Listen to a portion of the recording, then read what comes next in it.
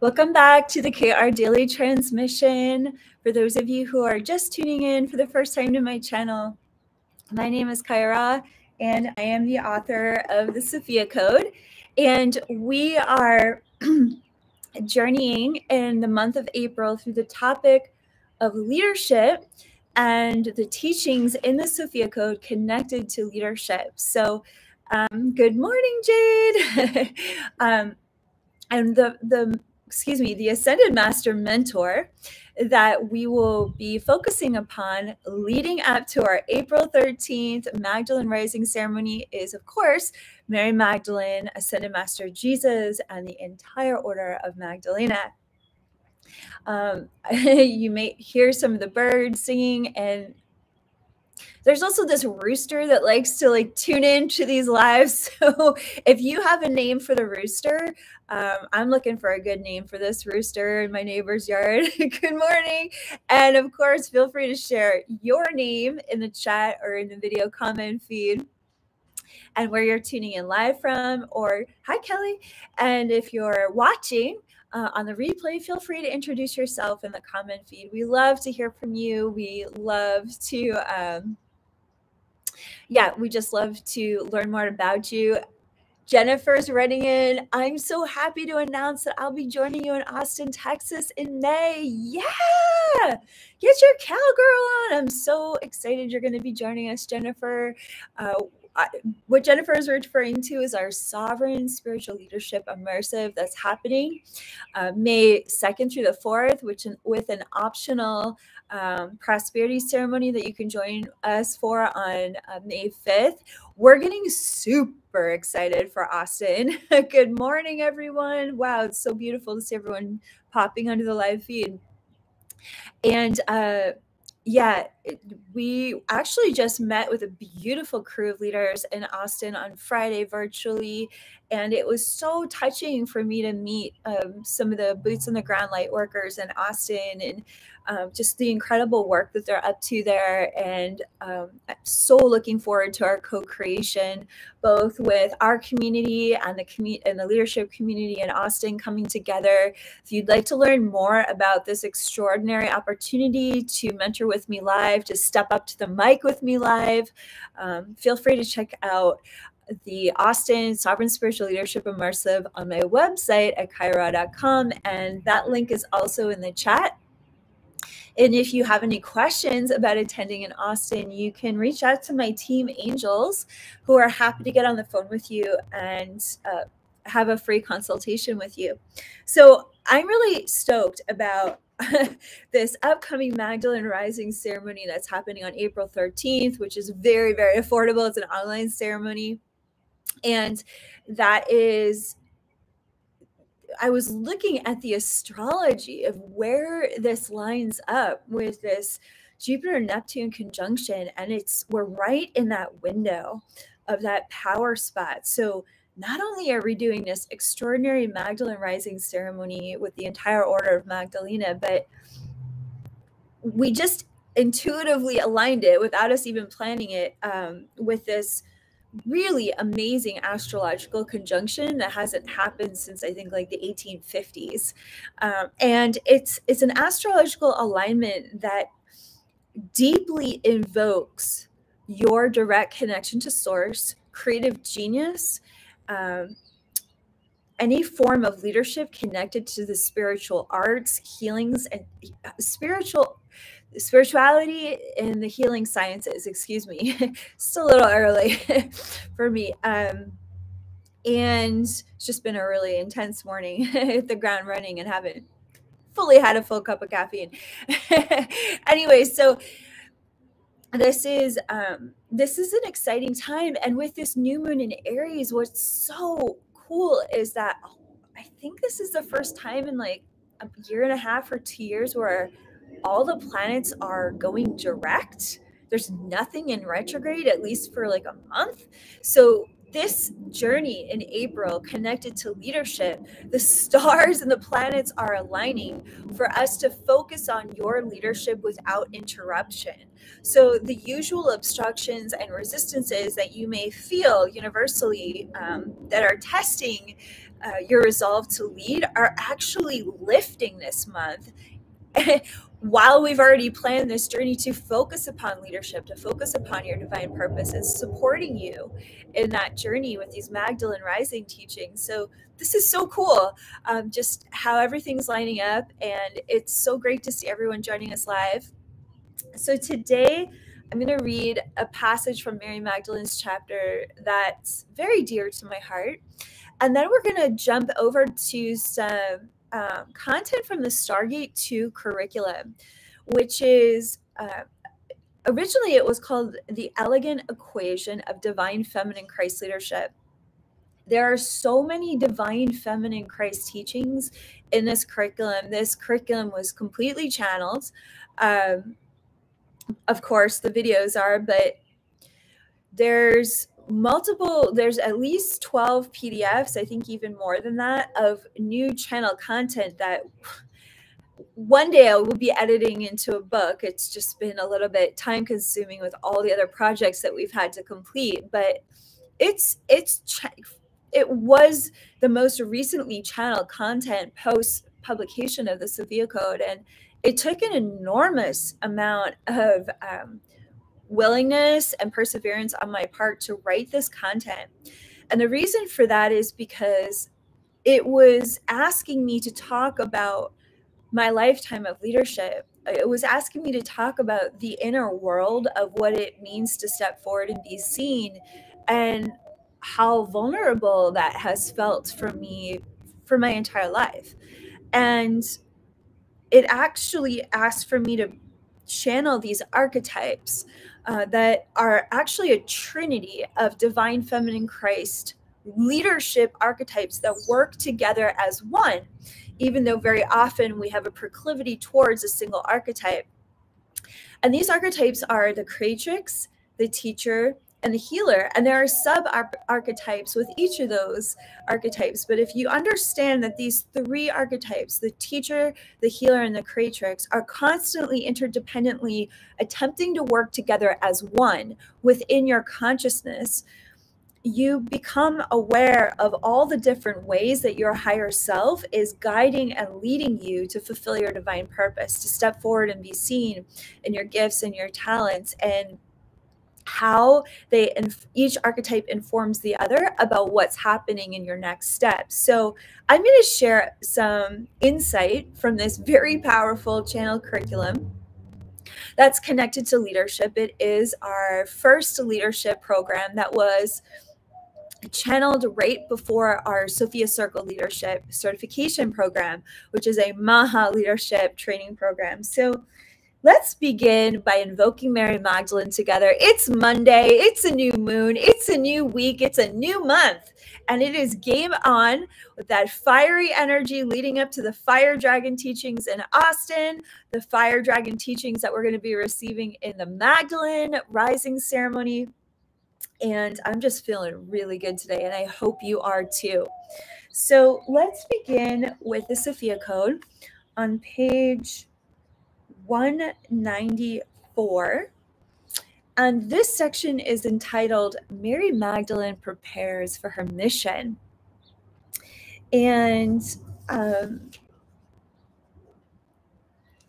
I'm going to begin with paragraph one, two, three, four, Paragraph five, if you'd like to join me reading the Sophia Code out loud. I'm celebrating each and every one of you, all of these beautiful comments. Welcome back to your New Moon Monday. And um, yeah, and this is actually the beginning of the astrological new year. So happy new year uh, as far as that goes as well. Okay, bottom of page 194. These are the words of Mary Magdalene. And so Mary, Mary Magdalene is sharing her experience about how she was preparing for her leadership, her divine purpose. And Mary Magdalene shares, I often spent as much time as I was permitted to directly mentor with Mother Mary as a primary teacher, for we shared a similar background in our Egyptian mystery school training we would often sit together in her rose garden, Imagine that hanging out with Mother Mary in her rose garden. You, Mary Magdalene, and Mother Mary, you can do that in meditation. Mary would remind me that I was a whole rose in the presence of both my petals and thorns, and to never feel ashamed of my thorns. As an overlighting mentor for my development, Mary could see that I was a natural spiritual revolutionary longing to serve my divine purpose. She also knew that it would require a sophisticated set of skills in order for me to safely speak my truth as a public female leader. These skills included mastering the high magi arts, oracular oration, and embodying an invincible divine love. My personal light would have to be bright enough to blind those who would harm me, and bright enough to cast a path for those terrified to seek out my help. I also needed to master the assertion of my personal sovereignty as both a woman and as a teacher within the interdependent collaborative efforts of a community working together as the one body of Sophia Christ. Mother Mary took me under her wing as her own daughter to initiate my awareness into these highly sophisticated nuances of divine feminine Christ leadership. That's so powerful. Those three paragraphs alone are, are it's like mind blowing. Uh, the training that Mary Magdalene received directly from Mother Mary to step into these divine feminine Christ principles within her that could transcend the extreme times that she was living in so that she could serve as a public leader, regardless of all oppression, um, all judgment, and even the danger of leading at her time. So it's like when we are looking to the Magdalens to mentor us in our spiritual leadership, and by the way, any leadership, because we as a platform believe that that leadership is needed in every field of interest um, every every every inter- intersecting industry that makes our world go round requires leaders that are embodying Christ consciousness. Leadership is service. So, however you are showing up to serve the hearts, minds, the the evolution of others, we consider that leadership. And um, so i just want to preface you know preface that be, or even remind us that like you can be leading in any capacity in your life. It, it's about being seen as a resource of support and awakening for others. And so in this um, what are we what are we receiving from these chat from these paragraphs in the sophia code? Mary magdalene took the time to prepare for her ministry Mary Magdalene took the time to practice these nuances of divine feminine Christ leadership, which include cultivating her energy. It included learning how to sit in the seat of her power. It included learning how to confidently own uh, her vision, her mission, her perspective, how to negotiate ego structures through the articulation of divine love. She had to learn how to walk with a grace and a fierce grace where the power and the presence of her diamond light could pierce the darkness uh, that included the confusion and the judgment of others with a brilliance that was so bright it went straight into their hearts and would confuse their ego structures so that they could actually receive the medicine of uh, these divine feminine principles that desperately wanted to be awakened uh, within the people that were resisting Mary Magdalene the most. And we have so much to learn from Magdalene about how to serve in these times that are filled with censorship and propaganda and uh, cancel culture and just there are so many attempts to thwart us from our sovereign spiritual leadership from our sovereign leadership from from the creative genius that already exists within us. There are so many distractions that want to keep us small when the truth of the matter is is that you are you are a dragon-sized soul. You are unlimited in your capacity to shine um, your divine truth in this world, just as Mary Magdalene and all the Mar- Magdalens have, you know, stepped up to shine their light and to share their message and to make a significant impact in the world. You know, even if someone's life ended the way that Joan of Arc's life ended, which she was betrayed by the very monarchy that she served, the reality is is she completed her mission the radiance of her divine embodiment fulfilled the angelic mission for which she was sent. And even in the way that her life was ended, you know, ironically, years later, she was um, she was lifted up and honored for the incredible oracular leadership that she embodied, um, where all of the judgments against her were reversed. The irony, if you really want to know the irony of why Joan was, you know, the reasoning, the logic behind her being burned at the stake was that she refused to take off her armor. Isn't that interesting? She refused to take off the mail armor that was given to her to protect her in life when she was imprisoned um, by the British. And in that refusal to take off that which was protecting her, uh, to stand in that balance of the divine masculine and divine feminine within her, uh, this was their logical reasoning for why she was uh, a sinner and should be burned at the stake, which we all know is absolutely ludicrous and ridiculous. Um, but the point being is like that radiance that Joan embodied as a Magdalene set an entire country free. It turned them back to their sovereignty uh, at a very pivotal moment where their country was about to be handed over to another empire. And so, what do we take away from that in our leadership?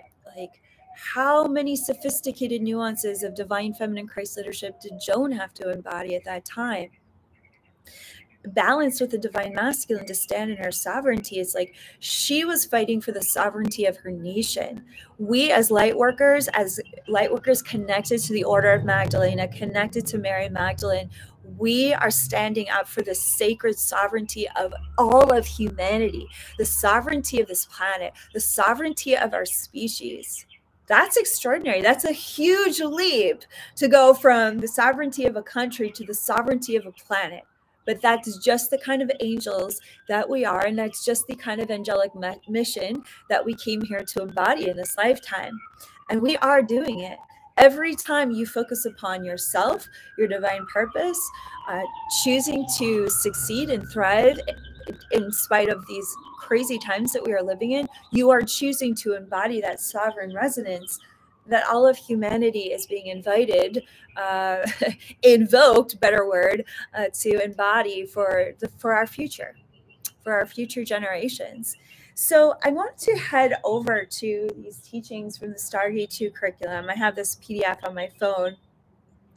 And so much of this curriculum was actually inspired by two key code mentors that were relentless with me. They wouldn't let it go uh, mother mary and isis.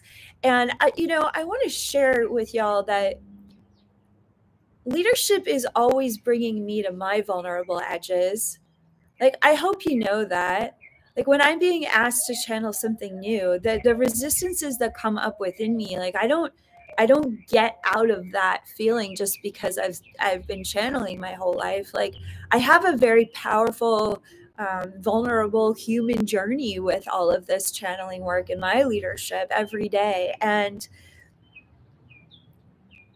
you know, when I was asked to channel the Stargate 2 curriculum, I wanted to be like, really? Are you serious? I just finished the Sophia Code. Like, I'm exhausted. I put everything in it. Like, all you want me to keep leading in this way? Like, this is hard like i don't i don't want to talk about myself. How about we just channel something else about you? And mother mary was like no this content is so important because there is such a deep need for spiritual leadership um, coming over the next 10 years that if we don't have these curriculums um, channeled people won't have the tools that they need to understand how vulnerable the journey of leadership really is. So every time i'd go to my mother mary altar she'd be like please sit down and work on this content. And then I'd turn to my Isis altar and be like, Isis, I don't want to. And Isis would be like, yeah, but you got to go back to the Mother Mary altar and keep having this conversation with Mother Mary. It was kind of hilarious. And um, finally, I just gave in and, and, um, and really showed up.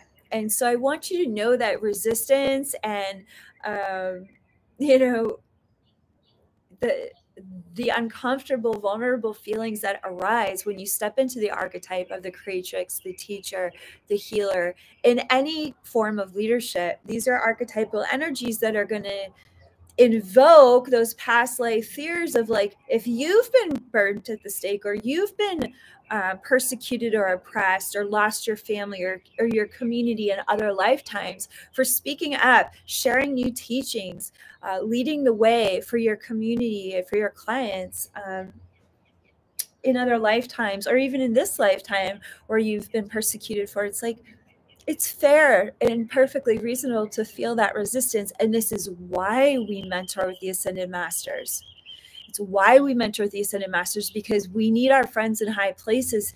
We need that their their angelic wings and their very powerful sovereign hearts to support us. We all need to be in a community of leaders. The ascended masters are a part of our community of leaders that helps us to stay true and to stay strong and to stay focused on those next steps of our divine purpose. So, Mother Mary was a big part of um, of, of channeling this content in the Stargate 2 curriculum. And there's two archetypes of shadow archetypes that we talk about the diva and the orphan. And the diva and the orphan represent two archetypes that the ego structure employs for us to remain separated from our inner calling to leadership. So the the Diva Arena, the Stargate 2 curriculum shares that your ego's special forces unit we talk about the ego structure as having its own army of soldiers.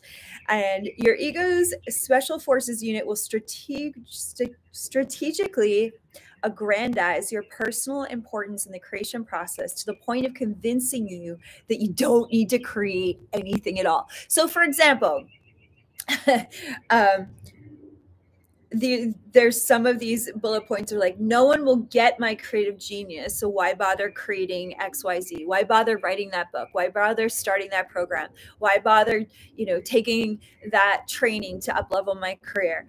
Or i've already created blank and this was my lifetime contribution so now i'm done right? That could have been that moment like ah i read the sophia code so now i'm done. I don't need to do anything. Um, Oh, how about this one? Others will rip off my brilliant ideas, so why bother creating any more? It's going to happen regardless, no matter what. Promise you. We'll talk about that in Austin. Like, you got something original, there'll always be someone copying it. That's it's just part of it. But the ego structure will keep you from stepping forward with your brilliant new ideas out of the fear of that. Again, next next bullet point for the diva shadow archetype. My light is so bright that that is enough for me to make a difference in the world hmm, we heard that one before. Or I've survived blank, some sort of trauma, and that was big enough contribution to liberate humanity. Or I've lived a long life and I just deserve to rest now. Or once everything is perfectly laid out in my reality, then I'll consider showing up to lead. So these are the ways the ego structure starts to kind of bomb us and circumvent those initial first like steps those fiery first steps that we take towards our leadership the moment we take we start to step towards where we really need to be fulfilling our divine purpose the ego structure will try to take us out like a special forces unit. And um and so we talk a lot about that and then uh, i mean there's a whole realm of teachings here and then in the stargate 2 curriculum about the diva and the orphan arena the orphan has is when the ego structure starts to say, I am not important enough for this. So the ego structure is a pendulum that goes back and forth between the diva and the orphan that would keep you from stepping into your leadership. Now, as we began today's transmission with Mary Magdalene's reading from the Sophia Code, she recognized that it was constant training with her with her master teachers that kept her in alignment with where she needed to go in her future. That even with all of her early childhood training, that she needed to stay within that space of keeping her feet to the fire, staying inspired, staying in connection with her mentors, such as Mother Mary, that would help her invest in herself and to be ready for when her mission was about to, you know, really open up for her. So someone like Mary Magdalene, are you kidding me? She could have totally stepped into that diva shadow archetype. Like she was so brilliant. She was so psychic. She was already praying and meditating and making such an impact in that way. But she didn't hide out in the diva arena. She had every, I mean, she even looked like a diva. I mean, she was gorgeous and wealthy and, you know, covered in jewelry. What did she do? She she chose to join an Essene monastic order where all the jewelry came off and you know her clothing became very subtle and she spent hours upon hours training in in a disciplinary environment that really focused on it wasn't a luxurious situation it was a very much a hermetic lifestyle you know although it was in community and a monastic lifestyle is the best way to say it and she gave up all of that so that she could focus on her leadership. If somebody as fabulous as Magdalene isn't going to give in to the diva arena, why should we? Right? So the other arena that can come up that the ego structure can, you know, grenade us with is called the orphan arena. It's the orphan shadow archetype. And the orphan shadow archetype is when the ego structure tells you that you are not important enough for your leadership, for the calling of your leadership within you. So some of these bullet point examples would be like, it says, Your ego's special forces will do just about anything to convince you of who do I think I am? I'm not qualified enough. I'm not smart enough. I'm not good looking enough. I'm not articulate enough. I'm not talented enough. I'm not brave enough. I'm not important enough. Isn't this interesting? Or there are other people who can create this better than me, so I don't need to do this. Or someone else will always be better than me at fill in the blank, so now I'm off the hook. Or I don't know enough about business, money, marketing, career choices, this fill in the blank, and it's too hard to learn something new at this point in my life, anyways. Ooh, the ego structure is so tricky. Isn't this so interesting? Or how about this one? I hear this one a lot from leaders or people that should be leading. I can't stand learning new technology. I can't, it's too scary to learn a new career role or the growth curve of a new education to support my creative calling. So I guess I'm just stuck with my lot. Whew. Or I'm too young and inexperienced to create something of value or to lead, or I'm too old and tired to create something of value and to lead. Oh my gosh, talk about putting our feet to the fire. The Stargate 2 curriculum is so confronting and activating, and the journaling prompts are going to blow your mind. They're going to take you to the very root of where your ego structure is giving you a super hard time and help you move beyond the old resistances, the old fears uh, that have held you back from from saying yes to taking those next steps of exploring your leadership, uh, embracing that expansion and believing in yourself because here's what happens when you get off of the pendulum egos the ego's pendulum swing of the diva and the orphan. You come back into alignment with your higher self.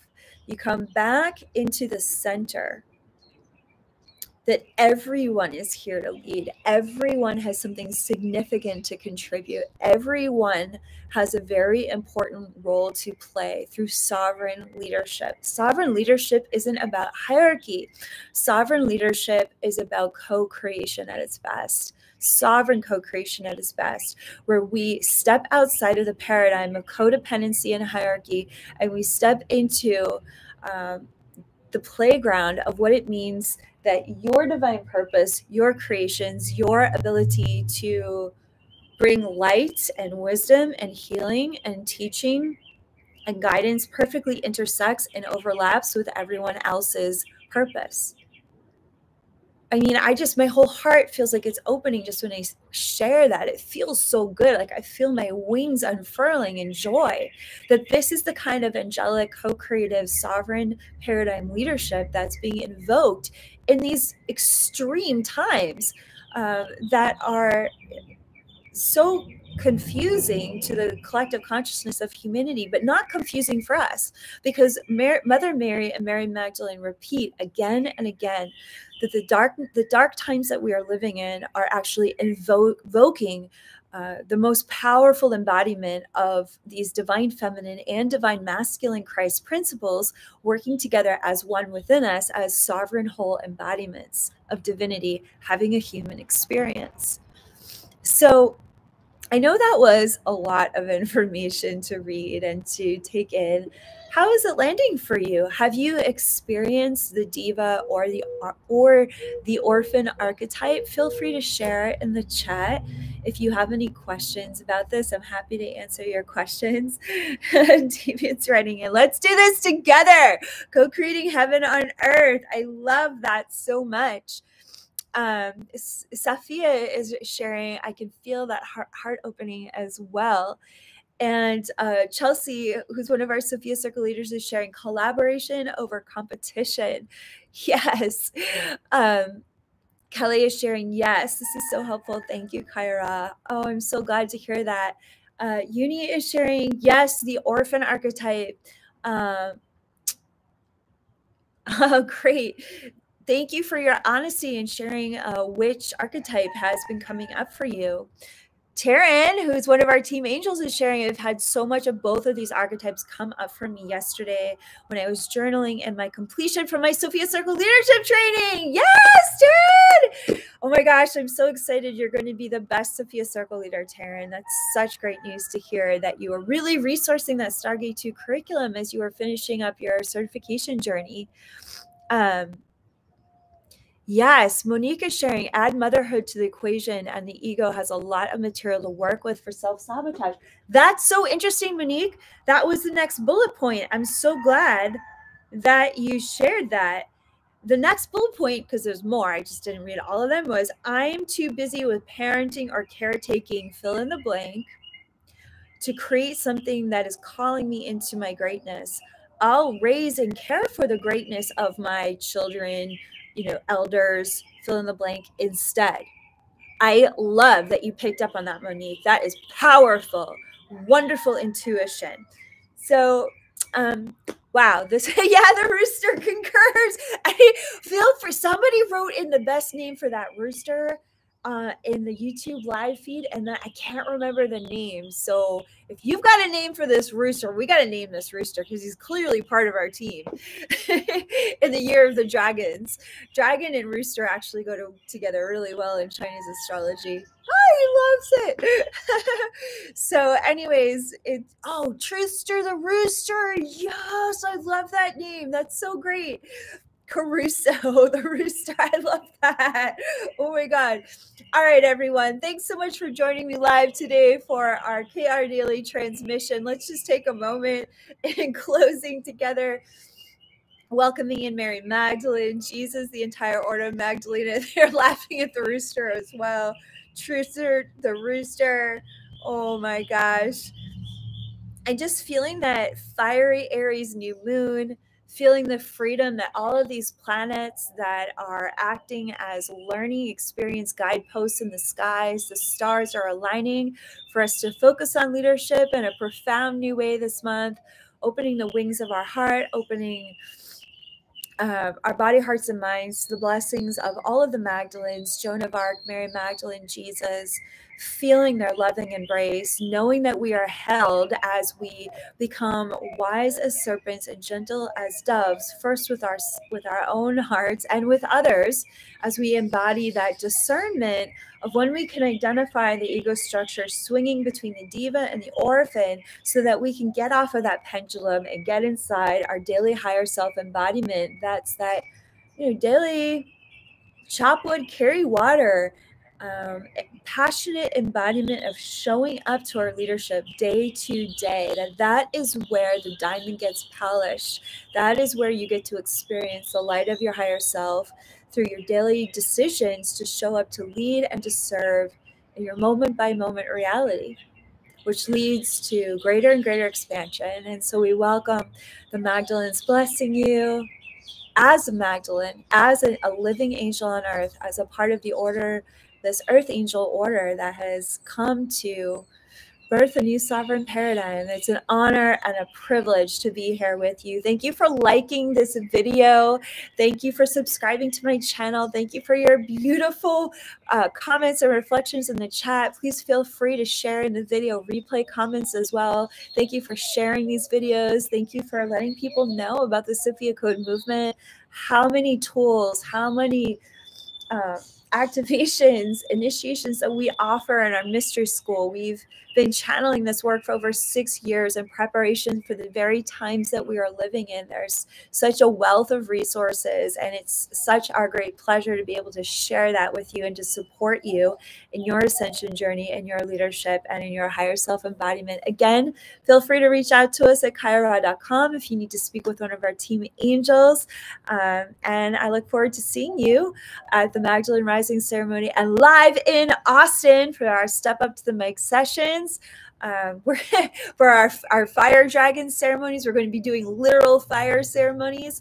And there's just going to be such a riveting community dialogue on what it takes to, to lead through sovereignty as business owners, um, as leaders in, in, our respective fields, and the underbelly of leadership and what it takes to navigate that underbelly, navigate both our own ego structure, but also the ego structure of community, the ego structure of the collective, the ego structure of individual clients. Like, we can learn how to navigate that wily coyote ego structure in beautiful fiercely graceful loving ways that brings enlightenment and uh, expansion to even the, even the most traumatized souls. It is possible and it is exactly why we're here as the magdalene rising that we are. I love you all so much. Namaste. Thank you for being here today. Have a beautiful blessed day or evening wherever you are. All my love to you always